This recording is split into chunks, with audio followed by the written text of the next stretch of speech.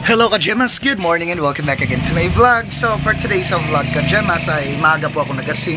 Nagising 6am kasi ako yung nagbabate ng tindahan.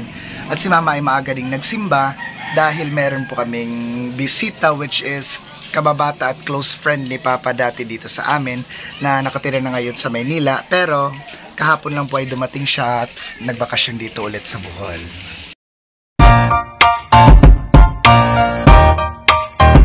So yun ka-Germans, kakarating lang po ni Mama galing nagsimba. So silipan na muna natin si Papa ngayon sa kusina at naghahanda kasi siya ng aming almusal. So tara ka-Germans, stay tuned and keep on watching.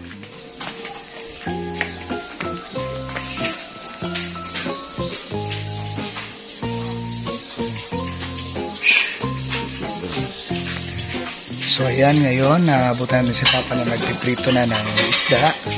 Kasi ito yung request ng kanyang kaibigan kasi na-miss nila yung mga preskong isda dito sa probinsya.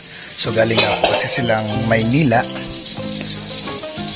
Ayan, meron nang naluto si Papa din ditong malalaking hipon or banami sa amin eh.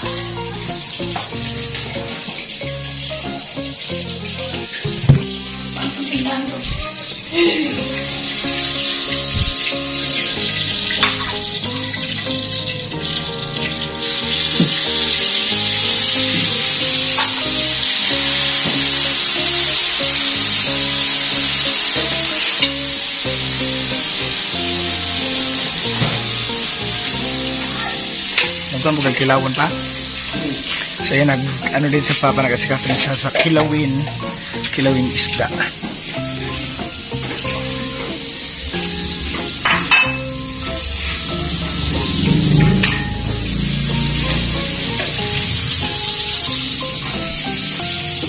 Para po sa kaalaman ng lahat, so kahapon nga po kasi dumating yung kaibigan ni Papa kahapon ng umaga pero hindi na nila kami nabutan dito sa bahay nung pumunta sila dito kasi galing nga po kami dun sa Sinandigan Beach at nakaselebrate sa double birthday celebration ni Vince Louis at ni Vince Darb.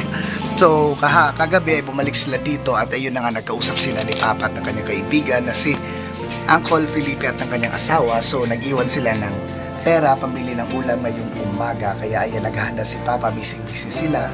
Umagang umaga pa lang ay pumunta na si Papa at si Mama sa palengke. Kasi nag-iwan nga po ng ng pera yung kaibigan niya si Uncle Felipe para sa pang-ulam namin ngayong umaga ayan kita kits mamaya Uncle Felipe at ng iyong uh, ganda at asawa kasi hindi ko po kilala eh. So, kita-kits mamaya dito sa bahay at sana mag-enjoy kayo at mabusog sa almusal na hinanda namin para sa inyo. So, ngayon ka Gemas, ay magbabantay na muna ako saglit ng tindahan habang si mama ay nagbibihis pa doon sa kanilang kwarto at si papa ay naghahanda nga po ng aming umagahan. So, dito na muna si Kajema sa tindahan ulit at magbabantay kahit nasi-CR na ako. So, tiis na lang muna kasi hindi pa dumating si mama. Ah, hindi pa, I mean, hindi pa natapos sa pagbibihis si mama. Tapos, pagdating niya dito ay yun, tatakbo na ako sa comfort room ka Gemas kasi sakit-sakit na ng tiyan ko eh. So, excuse me po sa kumakain. A few moments later. So, ayun ang haka-Gemas. Dumating na nga yung mga special visitor namin galing Maynila. Yan galing din pala silang nagsimba, kaya yan yung mga suot nila. So, mamaya na ako papasok doon kasi nahihiya ako. Hello! Palagi daw po kasi siya nanonood ng aking vlog eh. So, salamat po Uncle Felipe sa pagsubaybay ng aking vlog kasi gusto niya rin kasi makita yung mga kaibigan niya dito dati sa aming lugar kasi matagal-tagal na din daw siyang hindi nakapag bisita dito. Meanwhile,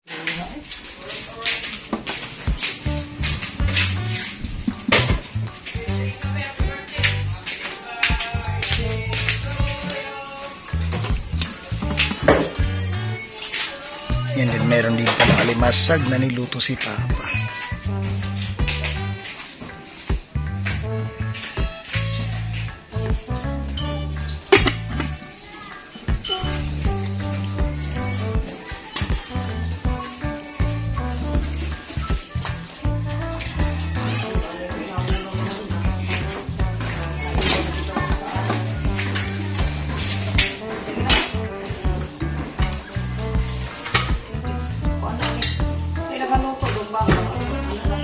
Apa na madakat? Wah, oh, parang sakit daw. Bukang ka na? Ala, iring lang.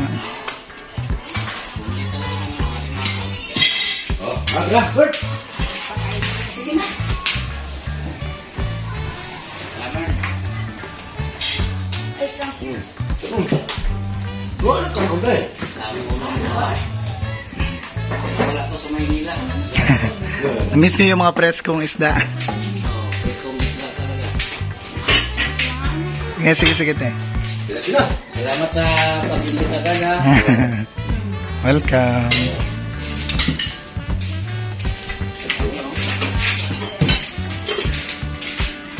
May palit, day? May palit? Susit ang apps.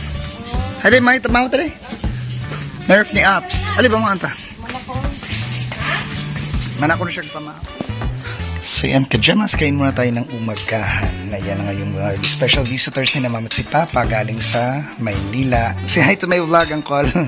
hi! Kain. Later. So yan kajamas, kakatapos na po namin mag-umagahan. So nag-usap-usap na muna sila doon sa loob. At magbabantay na muna ako ulit dito sa tindahan. So mamaya ay maghilamos ako madali kasi hindi ako nakapaghilamos simula nung gumising ako. Ginising ako ni Papa ng maaga. So nag-request kasi si Uncle Felipe na magpa-picture daw kami. Para remembrance na rin kasi idol niya daw ako kasi palagi siya nanonood. Sila pala, ng pamilya niya palagi silang nanonood ng aking vlog. So thank you so much Ochaya family. Salamat sa pagsubaybay ng aking channel. Later. So yun kajamas, tapos na kami dito mag-picture taking as a remembrance daw po kasi 3 days lang sila magbabakasyon dito sa Bohol. So uwi naman sila ulit doon sa Maynila. So yun yung motor ko, ano, nakiu nakisuyo ako sa pinsan ko na ihatid muna doon sa sa vulcanizing shop para kasi na flat po kahapon. Si sakay ko kahapon pa uwi si mama at si papa eh. Kasi mo tayo? Oh, salamat. Oh, sige. Sige. Ay. Lamig tayo pa. Oh, lamig tayo sa Isa out pala sa ako sa Maynila. Diyan dyan. I-subscribe niyo si Ben. So, hello dyan dyan. Subscribe yung channel ko. Yan yung mama at papa niyo. Hello. Salamat sa pagbisita. Shoutout mo mga anak mo, Col. Hi, shout out kay Anton Philip Ochia, John Phil Ochia, Ryan Ochia, at si Engineer Mark Phil Ochia. Wow. Thank you, Ben, sa... sa Welcome, welcome. Salamat din sa pagbisita dito sa bahay namin. Thank you. Shout out to Chea family. Ingat kayo palagi and God bless. Sinandaan yung pagkain. Mga presko yun lahat eh. So nag-rent lang kasi sila dito sa my hotel na malapit lang din sa amin, sa GC Art. Look, welcome dam. So nag-rent po sila ng tricycle kasi pupunta pa sila sa San Pascual so medyo malayo din. Ah, magtitirik sila ng kandila sa kanilang mga mahal sa buhay. Na pumana, welcome ko, lamping mo. Yan.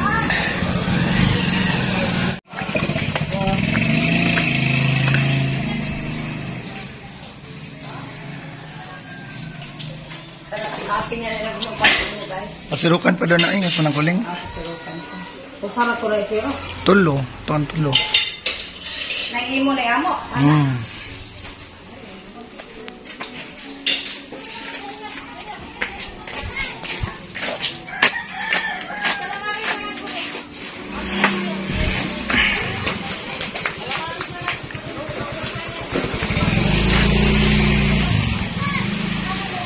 Nabubaan wa? Mana? Kisa nagbomba yuyo? So yan tapos nang mapabombahan yung gulong ng aking motor na na-flat kanina. Ah. So yun Kajemas, that's all for today's vlog. So thank you for watching Kajemas. Sana hindi kayo magsawang magsubaybay na aking channel. Thank you so much and God bless sa inyong lahat. Advance Happy Valentine's Day sa lahat ng mga mga mahal sa buhay. I, I mean, partner in life or may mga karelasyon. So, happy Valentine's Day in advance.